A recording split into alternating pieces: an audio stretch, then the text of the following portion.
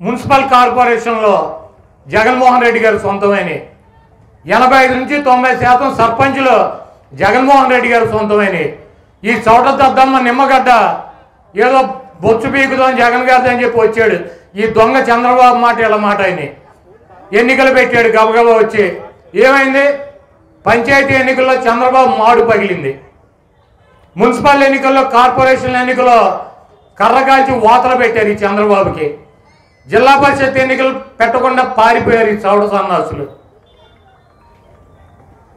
ప్రజలను అడిగితే అభివృద్ధి జరిగిందా? సంక్షేమ కార్యక్రమాలు అమలు జరుగుతున్నాయా? గత ప్రభుత్వాలు ఏ రకంగా పనిచేసినాయి జగన్మోహన్ రెడ్డి గారు ఏ రకంగా పనిచేస్తున్నారు? ఈ రాష్ట్రంలో ఉన్నటువంటి ప్రజలను అడిగితే వాళ్ళు సమాధానం చెబుతారు. హైదరాబాద్లో ఉండేటువంటి కాపురం ఉండేటువంటి ఎదవులకి ఏం తెలుస్తుంది? ఈ రాష్ట్రంలో జగన్మోహన్ రెడ్డి గారి పరిపాలన పప్పు నాయుడు గారు పొద్దున్న వచ్చాడు సాయంత్రం పోతాడు. పోతా పోతా రెండు డైలాగులు సైకో రెడ్డి అంట. ఎవర్రా సైకో రెడ్డి? నీ బాబు సైకో నాయుడు. నీ బాబు సొల్లు నాయుడు. నీ బాబు చీట్లగాడు ఎండి రావడానికి వెన్ను పోటీని పోటీచి పార్టీని దొంగలించేటువంటి దొంగలరా మీ బాబు కొడుకులు? జగన్మోహన్ రెడ్డి గారు సైకో రెడ్డి? ఒళ్ళు దగ్గర పెట్టుకో డొక్క పగులుద్ది. పిచ్చి పిచ్చి వాగుడు నోరుంది కదా అని చెప్పి. నీలాంటి చవట సన్నాసులు పిల్లలుగా పుట్టకూడదు శత్రువులు కూడా పుట్టకూడదు అని మనుషులు కోరుకుంటారు. నీలాంటి చవట దద్దమ్మలో నీ బట్టి లుచ్చాగాళ్ళకే జగన్మోహన్ రెడ్డి గారి గురించి జగన్మోహన్ రెడ్డి గారి వాల్యూ గురించి నీకేం తెలుస్తుంది? దొంగతనంగా పార్టీని కొట్టుకొచ్చినటువంటి అదోలరా మీరు బాబు కొడుకులు ఇద్దరు? జగన్మోహన్ రెడ్డి గారి గురించి ప్రజలు ఏమనుకుంటున్నారు? జగన్మోహన్ రెడ్డి గారి గురించి ఈ రాష్ట్రంలో ఉన్నటువంటి ఓటర్లు ఏమనుకుంటున్నారు? మారు వేషంలో బాబు కొడుకులు వచ్చి గ్రామాల్లో పట్టణాల్లో అడిగితే ప్రజలు చెబుతారు. హైదరాబాద్లో కాపురు ఉన్నటువంటి మీ పోటీ యదవులకి జగన్మోహన్ రెడ్డి గారి గురించి ఈ స్థాయిలోనే తెలుస్తుంది. కాబట్టి మాట్లాడేటువంటి మాటలు ఒళ్ళు దగ్గర పెట్టుకుని మాట్లాడాలి. నీలాంటి చోట సన్నాసులు ఈ లోకేష్ గారి లాంటి పప్పు వెధవలో శత్రువు కూడా పుట్టకూడదని చెప్పి జనం కోరుకుంటున్నారు. ఎందుకు బతుకుతున్నావు కూడా తెలియదు నీ నీచమైనటువంటి బతుకు. మంగళగిరిలో ఆయన పెట్టినటువంటి అభ్యర్థి చేతిలో ఓడిపోయినటువంటి అనామకుడు ఎదవు నువ్వు. కాబట్టి సైకో రెడ్డి పిచ్చి పిచ్చి వాగుడు వాగితే డొక్క పగులుద్ది పప్పు నాయుడు. నీకు పప్పు బాగా తిని ఓర పందిలాగా బలిసి నోటికి ఏది వస్తే అది మాట్లాడితే చూస్తా ఊరుకుంటున్నాం అనుకున్నావేమో.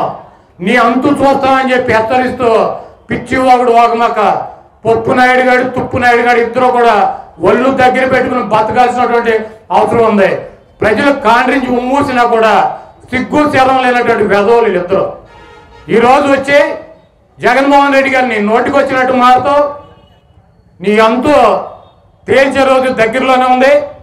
రెండు వేల ఇరవై నాలుగు ఎన్నికల్లో ఈ పప్పు నాయుడికి తోడు తుప్పు నాయుడిని కూడా కుప్పంలో ఓడించి బాబు కొడుకులు ఇద్దరిని కూడా ఇంటికి పరిమితం చేసి ఈ రాష్ట్రానికి పట్టినటువంటి నిష్ట దరిద్రం శని అయినటువంటి ఈ పప్పు కానీ తుప్పు కానీ ఈ రాష్ట్రంలోకి అడుగు పెట్టకుండా ఈ రాష్ట్ర ప్రజలు చేయడానికి సిద్ధంగా ఉన్నారు.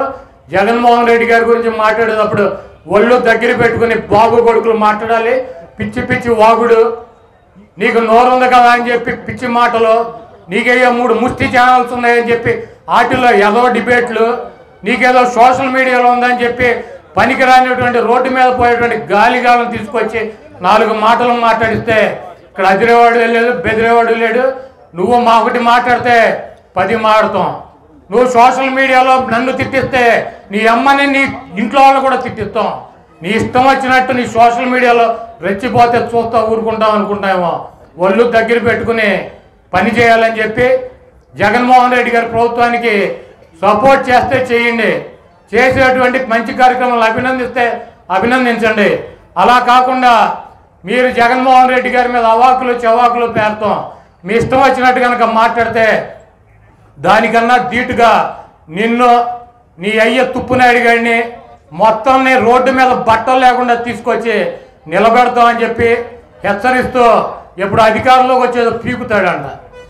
మొన్న పద్నాలుగేళ్ళు అధికారంలో ఏం పీకారు నువ్వు నీ బాబు? పద్నాలుగేళ్ళు మేము ప్రతిపక్షంలో ఉన్నాం. నువ్వు నీ బాబు పద్నాలుగేళ్ళు ఏం పీకారు? ఇప్పుడు వచ్చి పీకటాకి మీరు ఎమ్మెల్యేలుగానే గెలవరు మీరు ముఖ్యమంత్రులు అవుతారా? జగన్మోహన్ రెడ్డి గారిని మమ్మల్ని వడ్డీతో సహాయిస్తావా మా అసలు కూడా మాకు ఇవ్వలేవు. పద్నాలుగేళ్ళు నీ బాబు ముఖ్యమంత్రి ఉన్నాడు. ఏం పీకాడు? ఎవరితో పీకాడు? ఒళ్ళు దగ్గర పెట్టుకుని హెచ్చరికలు చేయి. నీకన్నా ఎక్కువ చేయగలం. నీకన్నా అరాచకాలు చేయగలం. కాతే మాకు పైన జగన్మోహన్ రెడ్డి గారు ఉన్నాడు. దేవుడు ఉన్నాడు దేవుడు చూస్తాడు. మన పని మనం చేసుకెళ్దామని చెప్పి నిబద్ధతతో పనిచేసేటువంటి వ్యక్తి జగన్మోహన్ రెడ్డి గారు కాబట్టి మీ పిచ్చి వాగుళ్ళు మీ పిచ్చి స్టేట్మెంట్లు మీ నోటికి వచ్చినట్టు ఇక్కడికి వచ్చి మాట్లాడి తిరిగి వెళ్తున్నారంటే అది జగన్మోహన్ రెడ్డి గారి దయా భిక్ష మీ బాబు కొడుకులకి. ఆయన కనుక మమ్మల్ని వదిలేస్తే గుడివాడ కాదు ఈ జిల్లాలో ఈ రాష్ట్రంలో తుప్పు నాయుడు కానీ పప్పునాయుడు కానీ కనీసం కాలు కూడా పెట్టనివ్వం. ఒళ్ళు దగ్గర పెట్టుకుని బతకమని చెప్పి తుప్పు కానీ పప్పు కానీ హెచ్చరిస్తూ సెలవు తీసుకున్నా